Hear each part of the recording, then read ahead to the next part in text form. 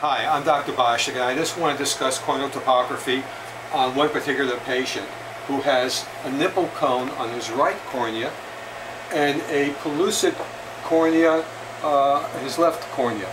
Um, what we have here, uh, what you see as dark red is an outpuckering, much like a nipple. And his cornea, this is like a normal cornea, his cornea would be coming out like this. And he wears a specific lens on this eye. He wears a um, Rose K lens uh, designed to fit over this particular nipple. Uh, his left cornea uh, has the thin and distorted areas in the bottom. What we have here is a, in the lower portion of his, of his left cornea, the cornea is coming out.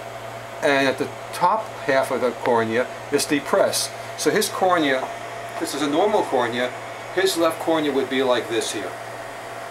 Again, there's no way a regular uh, gas permeable lens will fit this eye, nor will a soft lens. He's wearing a scleral lens on this eye. It's a large gas permeable lens that vaults over the entire cornea. And there's a liquid interface between the back of the lens and the front of the cornea. Uh, he's seeing 20/20 with this eye, as well as 20/20 with this eye. Again, he wears a Rose K lens on his right and a scleral lens on his left.